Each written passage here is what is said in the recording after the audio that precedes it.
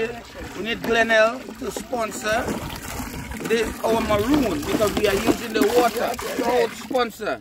So this is Mr. Glenel, Miss Glenel, whosoever Glenel is. We are using your product. We say, welcome to Six Roads Maroon. And we're coming to you for sponsors for next year, please the Lord. You stay tuned. We bring you ball by ball, ball, by coverage. ball coverage. and you might get a, a free ad too. If the price is right though. Give us that. Give us the marinade. Uh, it's maroon good food, enough string music. And Big Jump Dance come here the beat. We living good with we smoke food. Look how the smoke food good. The song of the drums put you in the mood, especially when it mix with good food. Come sing with we and dance with we. Carry a maroon. Make sure you come on down to see. To see, to see.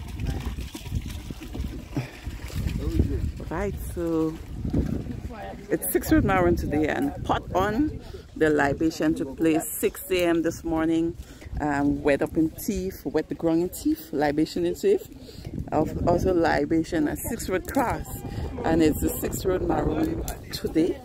So if you're home you can come on down later. It would be because of covid and no gathering. Um, you'll be serving takeaway boxes so there will be no gathering to eat the food but this is what is happening now. We're cooking the food. Um, the piece is on. The cooker pot went on. Then we have rice and the meat. Um, remember it's everything from our farm everything from our garden the community out. This is a community activity. Um, members of the community they're out um, pre preparing. We'll be videoing this and we'll bring you a full documentary of the process but this is what's happening now. Yeah? Nice. And uncle chester has two mangoes and i'm going to get one of them. Yep. You're going to get one of those? The mango. Yeah. Nice fig. So remember we have provisions um, rice it's an african dish so we have rice um, yeah